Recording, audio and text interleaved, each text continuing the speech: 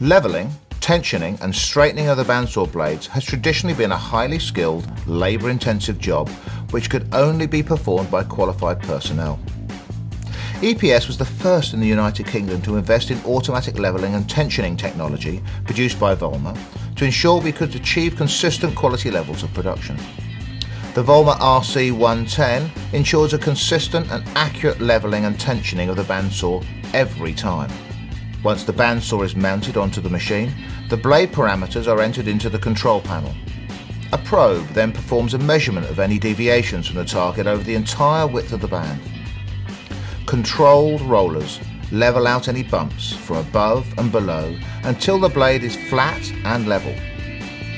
Once levelled, the saw is then tensioned to the customer's profile. This process can be repeated exactly the same for each bandsaw to ensure consistency for all our customers' blades. Precise results with infinite repeatable accuracy.